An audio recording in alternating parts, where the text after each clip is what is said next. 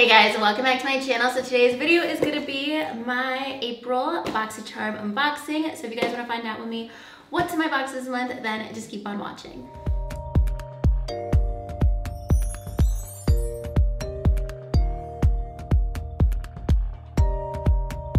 All right, so I always tell you guys the weight of my box. I think I threw out the little sticker that says the weight of my box, so I'll try to find it in my um, shipping notification and um, leave it as a comment below. And then the number of my box is number 12. It barely says it. And then the, oh, the theme is festival vibes because I know it's supposed to be like Coachella season and everything.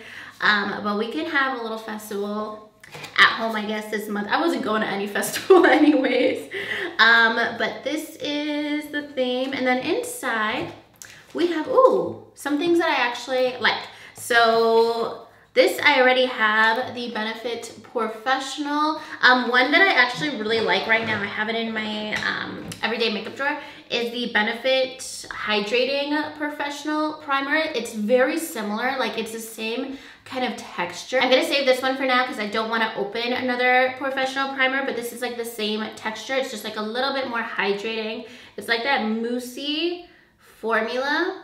Like they honestly look exactly the same. This one just goes on a little bit more moisturizing compared to this one. So that's why I prefer this one. I think this one is actually going around in BoxyCharm this month too, in case you guys are curious.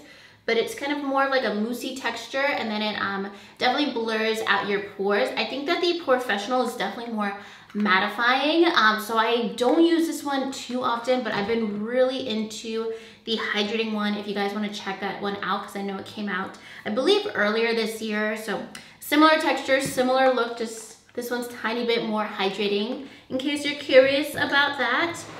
Um, next up, I honestly, I think I decluttered this palette recently.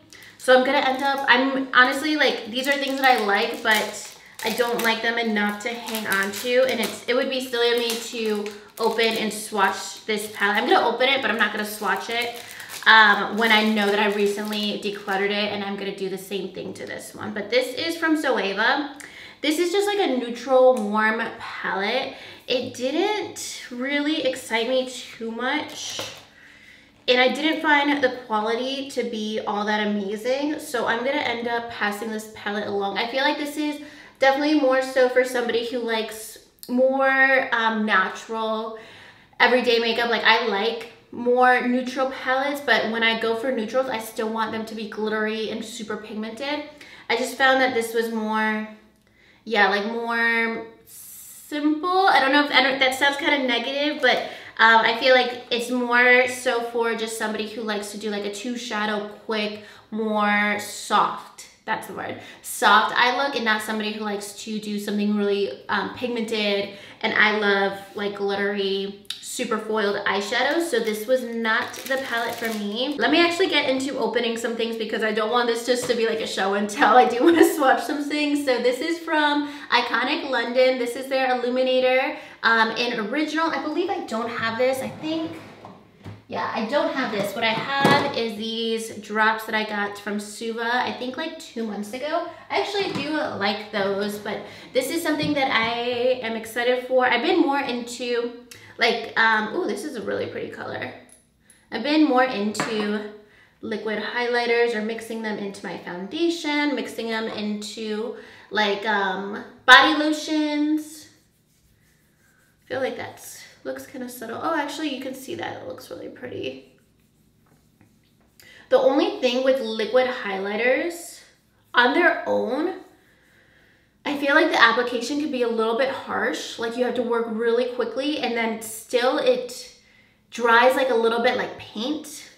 So what I like to do is either like mix it into an oil, mix it into a primer, or use it as a body product. Or mix it into your foundation as well to um, get a foundation to look a little bit glowier. That's honestly the ways that I'm gonna use it instead of using it by itself because by itself it could just look a little bit like harsh, but definitely excited for these. I know this is a little pricier of a brand too. Let me tell you the prices of everything so far. Okay, so this is $41, so this is pricier for sure. The Zoeva palette is $28, and then the POREfessional is 32. I'm actually getting like some really good products, even though this isn't like my cup of tea. Um, I think it will be for a lot of people. So I do think it's a good box so far, even though it's not necessarily like my favorite products. And then next up, here are some brushes, some colorful brushes from the brand Lavish. All right, so these are all eye brushes. We have one blending brush, like an, uh, an eyebrow brush, a liner, and then two like more precise brushes that I like to use. These are called an eye shading brush and a pencil brush.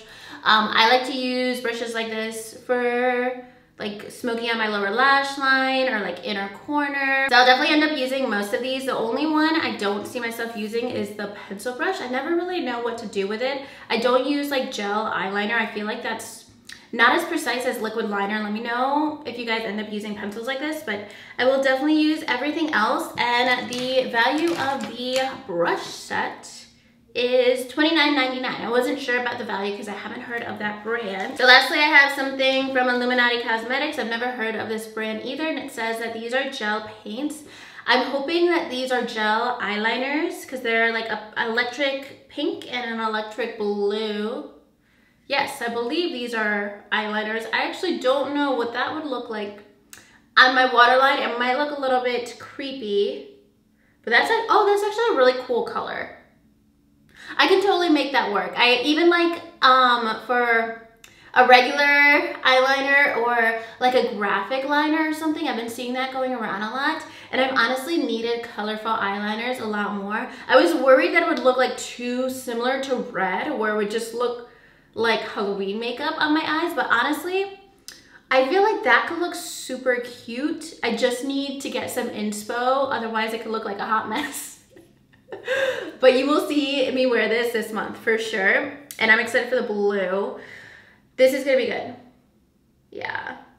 I feel like every blue, well, I have two blue eyeliners and they're like navy. And when I put it on my waterline, it ends up looking black. And I've definitely been doing more colorful um, eyeshadow lately, like I am Today, um, I've just been playing more with colorful looks because I'm only wearing makeup like one or two days a week. So when I put it on, I want to go all out. So I actually think that these are probably my favorite thing, honestly, in this box because eyeliner is one of those things like I don't like to spend money on um, because it's just like 25 bucks or something for just an eyeliner. It's just, I'd rather spend it on a lipstick or an eyeshadow or something like that.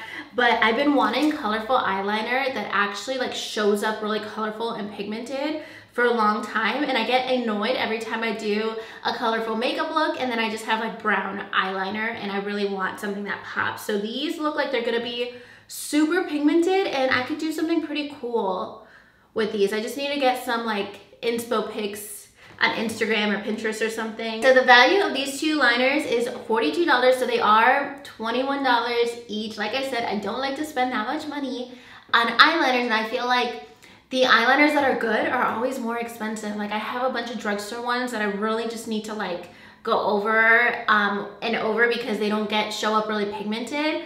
But then when I get something like an Urban Decay liner or a Stila liner, those are really pigmented, but it's like so expensive. So I am excited for these because I never would have spent money on a bright hot pink eyeliner, but this like opens up some possibilities for some new makeup looks. So I don't know why out of it, I got some good products here, but those are the products that I'm the most excited about just because um, I had a need for them in my collection. Like I've tried the POREfessional, I've tried this eyeshadow palette before, so it's nothing new there. I have, I always like getting eyeshadow brushes, but I have eyeshadow brushes at this point. Um, but I'm, I am happy with those because I do, I go through my brushes so quickly. I do like the illuminated drops from Iconic London. But honestly, these eyeliners is where it's at in this box for me. I'm sure you guys feel like the complete opposite, but that's the exciting part. I'm gonna go ahead and total up everything in my box. All right, so the total value of my box this month is $172.99. This is probably the most expensive or high value box that I've gotten in maybe the last year. Everything's always usually around like 150, 160. Um, it is a really good value. I feel like everything makes sense. Sometimes I throw in like a $90 skincare product or like a $120 skincare product from a brand that I've never heard of. So that ends up being like the whole like high value aspect of the box. But everything here are like high end brands for sure.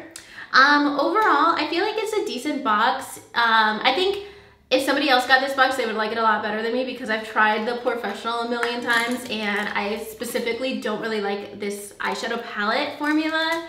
Um, but other people might like those things and it would make it like a high value box or a lot better box. Um, I'm okay with it. I actually, I'm just like really happy about the eyeliners. I don't even want to take off the swatches.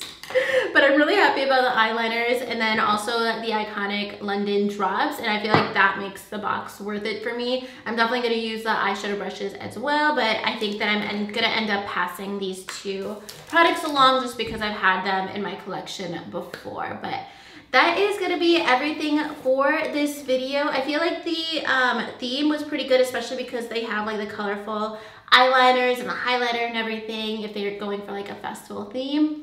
But that's everything in my box for this month. Let me know what you guys ended up getting in your boxes as well. And I do have an affiliate link with BoxyCharm, so if you're interested in signing up for BoxyCharm, my link will be in my description box.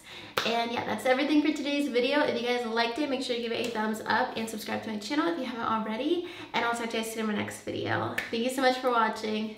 Bye.